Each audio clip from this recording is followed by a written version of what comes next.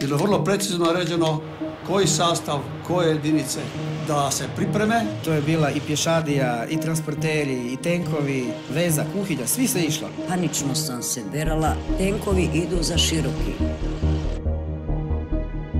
Pogazili smo ivičnjake, trotovare od kafića, tende smo počevali već onako smo prolazili. Veli ja okreći se ten koji ćemo zaustaviti, istaćemo kamione, okupače. Ugledali smo prvo vozilo, išao je za njega tank.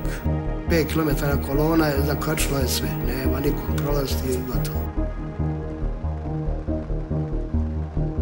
Dozvolimo nikome da nas isprovocira. To je bilo strašno. Za njih je bilo nešto nepojmljivo da okrupna jedinica ne može da prođe zbog civila.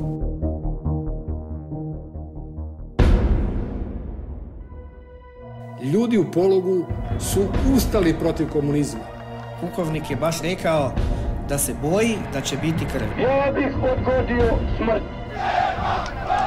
Blokada oklopnih jedinica kod mjesta Lištice i dalje traje. Ako bi bili napatuti, pravo na samoodbranu ima svatko, uključujući i vojska. Vojska nije imala što tražiti. Mi smo znali da je vojska naklonjena srpskoj strani. Ako budemo prevareni, to mora biti samo jedan put. Postojala je realna opasnost da se neko otkači. Međutim, nije išlo.